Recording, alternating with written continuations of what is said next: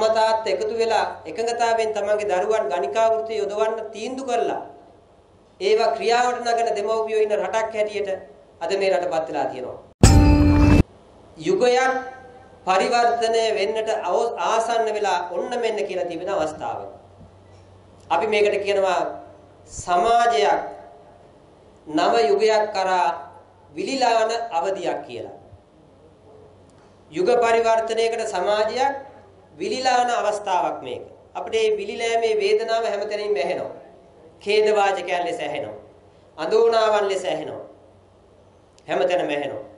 අපේ හාමුදුරුවෝ සඳහන් කළා අපේ ලේකම් මහතුරු පිරිවෙන් අධ්‍යාපනයට වෙච්ච දේ පිරිවෙන් අධ්‍යාපනයට වෙච්ච ඒ විනාශයන් හමුවේ ශාසනයට වෙලා සහ වෙන්න පුළුවන්කම තිබෙන විනාශයන් අද සංඝ සමාජයට වෙච්ච සමහර විනාශයන් වික්ෂුන් වහන්සේලාට හුදකලාව තනිව මිදින්නට වෙච්ච යම් යම් ඛේදවාචකයන් මේ ආදී දේවල්. ඒ අපේ පාර්ශවයේ ධර්මයට වෙච්ච විනාශයන්.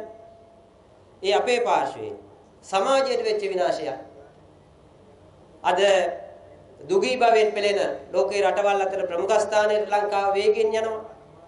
සීදී නසා ගැනීම අතර අධ්‍යාපනයෙන් පිටමන් වන දරුවන්ගේ ප්‍රමාණය ලක්ෂ ගණනින් වර්ධනය වෙනවා. ඒ වගේම ඖෂධ නැතුව මැරී වැටෙන ජනයාගේ ප්‍රමාණය එන්න එන්න එන්න වැඩි වෙනවා.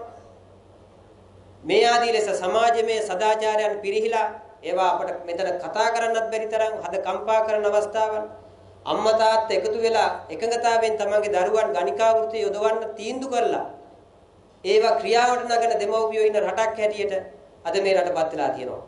ඒවා අහන්නේ අපි කොච්චර අමාරුවෙන්ද අපේ හාමුදුරනේ.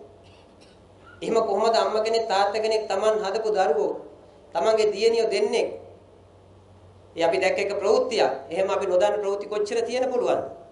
අද අම්මලා තාත්තලා තමන්ගේ දරුවන් මරාගෙන තමනුත් මැරෙනවා. ජීවත් වෙන්න බැරුව.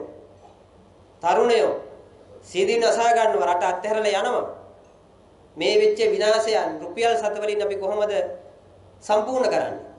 මේ සමාජයක් ලෙස විනාශ කරපු මේ විනාශය, ඇදවට්ටපු මේ ඛේද වාචකය, මේ දුර්දාන්ත පාලකයන් කරපු මේ කිව නොහැකි තරම් සාතිශය අපරාධකාරී විනාශයන්ට අපි වන්දි ගෙවන්නේ කවද්ද? මේ වෙනකොට පාසල් දරුවන් ලක්ෂ දෙකකට වැඩිය පාසල් අධ්‍යාපනයෙන් පිටපන් වෙලා. දෙමව්පියන්ට දරුවන්ට අවශ්‍ය කරන පොත්පත් ආදී පාසල් උපකරණ අරන් දෙන්න බැරුව මේ පිටමන් වීම සිද්ධ වෙලා තියෙන්නේ. මේ අපරාධයට කව්පි කවද්ද වග කියන්නේ? කොහොමද ඒක අපි පියව ගන්න? සම මේ තමයි දේශය අපේ දේශය. ඒ නිසා මේ සමාජය දැන් ඉන්නේ නව සමාජයක්.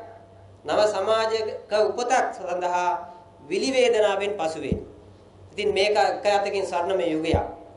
අන්නේ විලි වේදනාවෙන් පසු වෙන සමාජයට නිසි අනුශාසනා කරමින් නිසි නායකත්වයේ මඟ පෙන්වීම සිද්ධ කරමින් ජාතික පුනරුදයක් උදෙසාවන මහත් වූ කාර්යභාරයක් ඔබ වහන්සේලාගේ අපේ අතින් සිද්ධ කරන්න ලැබෙන එක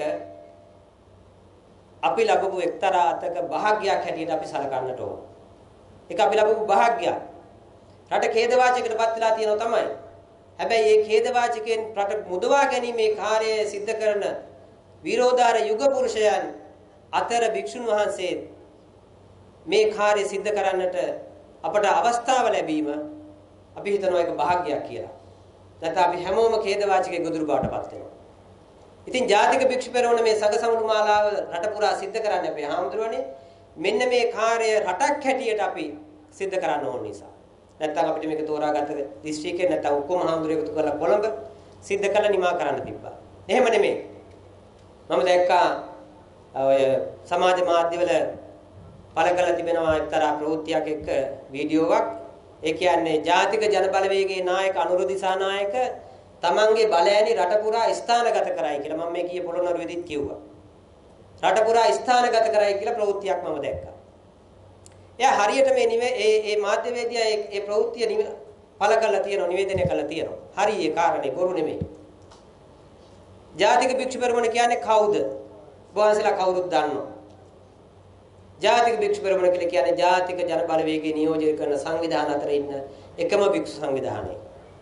එහෙනම් ජාතික ජන බලවේගයේ භික්ෂු සංවිධානය. ජාතික භික්ෂු පෙරමුණ. එහෙනම් මේ ජාතික භික්ෂු පෙරමුණේ සමස්ත ක්‍රියාවලිය කුමක් සඳහාද? මේ 76 වසරක දුෂ්ට දුර්දාන්ත පාලකයන් සියලු දෙනා සියලු දෙනා අපි එක ටිකක් සැර වචනයක් පාවිච්චි කරමු. එකෙක් නෑර හැම එකම.